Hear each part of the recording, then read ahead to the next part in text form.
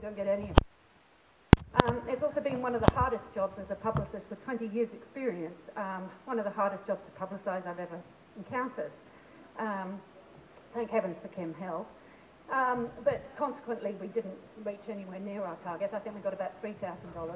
Um, we're scrimping by, even while Hawlaw is here, to try and reimburse him for his international flights.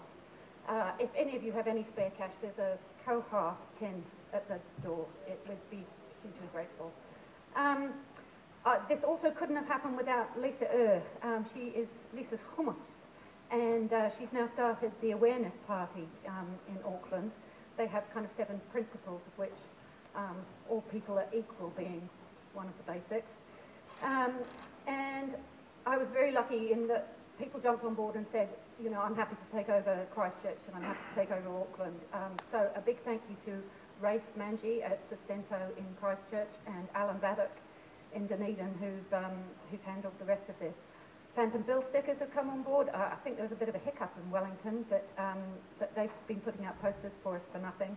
And Scoop Media have also been running ads for free for us. So I'd like to say thank you to those people um, and particularly Stephen Robertson, who designed the posters for us.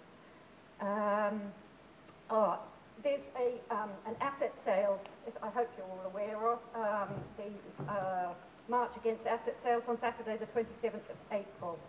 Um,